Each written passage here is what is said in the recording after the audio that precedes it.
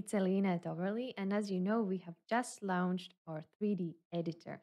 It's still in its beta version, and today I'm going to walk you through our, its basic features and also the platform itself and how you can use it to bring your augmented reality 3D experiences to life. As with beta versions, we're super open to any feedback, so you can send us an email or leave a comment below and just let us know what you think and maybe what features we should be adding. I am going to get straight into creating uh, the 3D augmented reality experience. So, just wanted to note if this is the first ever augmented reality experience that you're creating with Overly, I would suggest that you refer back to our older blogs, which uh, cover how to create your first workspace, project, and uh, first augmented re- reality experience in general.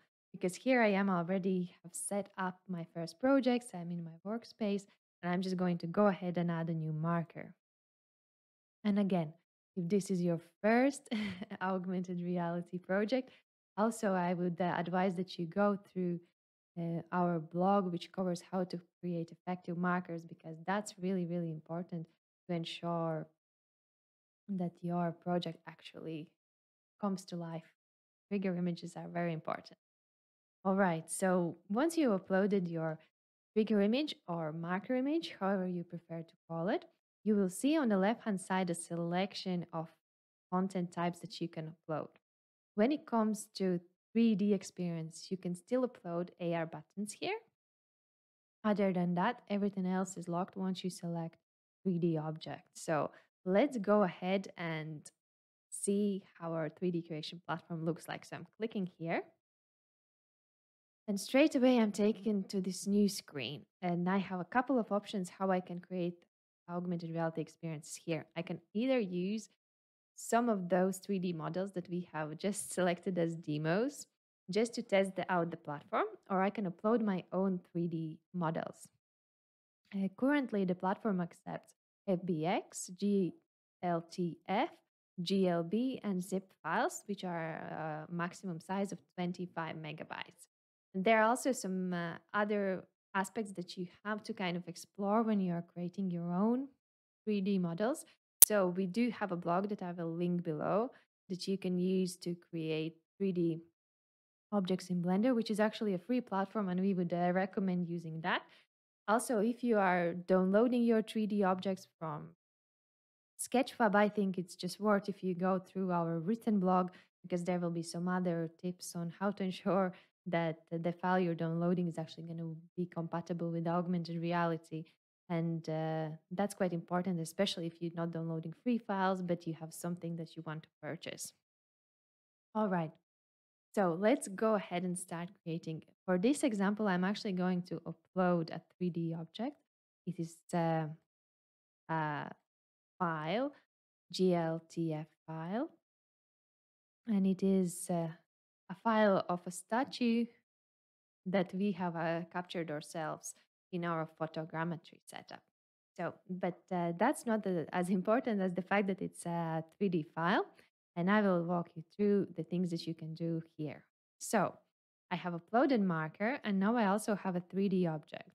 If I want to change a view of how on what uh, or the angle that I'm looking at this project from, I, all I have to do is just click anywhere around the object in the in the screen, hold on, and move my mouse and leave it the way I want it to be. So I'm actually going to uh, look at the marker from the top because usually when it's a marker-based augmented reality experience, if it's a postcard, people will scan it from from, from the top. If it's maybe painting.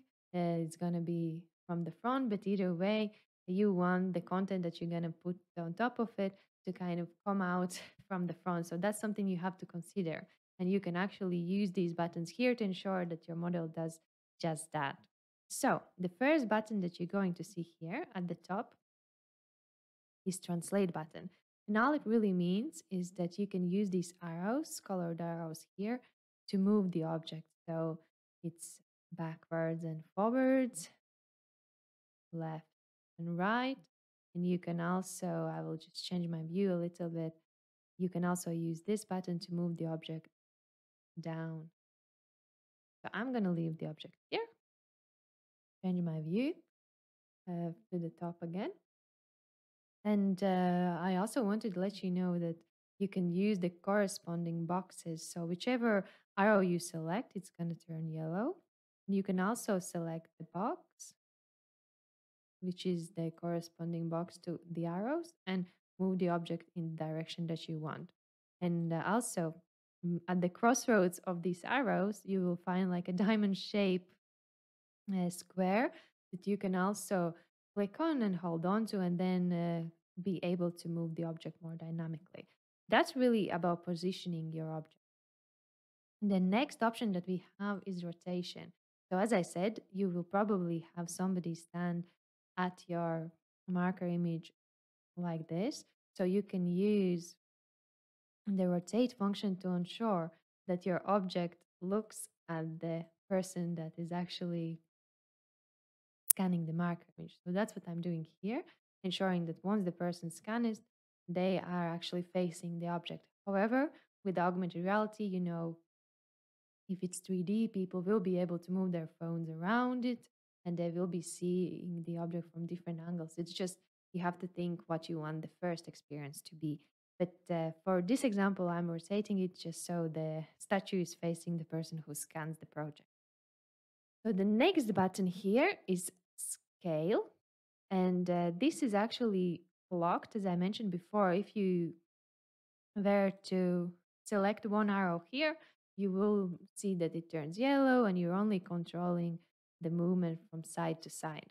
However, here, whichever direction or axis you choose, the scaling is happening in all directions. And uh, we've actually locked it to ensure that your object doesn't go out of shape if you start scaling one side and then maybe, you know, gets wider and doesn't simultaneously follow the sizing to all sides. So it will be just looking out of shape. And so that's why we've locked it to ensure the dimensions stay intact. All right. So here you it's pretty understandable that you can use this button to delete the 3D object. Here's um, backwards, forwards if you want to change your mind about some of the movements. And on the right hand side, you can see that there is uh, the same so position, rotation, scale, the same, same uh, headings, I'd say.